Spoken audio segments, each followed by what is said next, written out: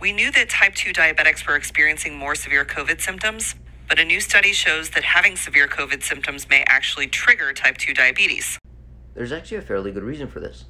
One of the hallmark symptoms of COVID is what's called the cytokine storm, which is a drastic elevation in multiple pro inflammatory cytokines. These pro inflammatory cytokines can directly act on the insulin receptor and induce insulin resistance. Put simply, they activate this protein right here, which inhibits the insulin receptor from functioning properly. And insulin resistance is considered the fundamental trigger of type 2 diabetes.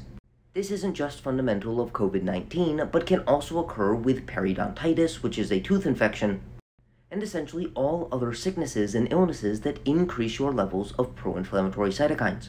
So, if you're on the verge of being classified as diabetic, and you develop some sort of illness, it can increase your insulin resistance enough such that it tips you all the way into the development of type 2 diabetes.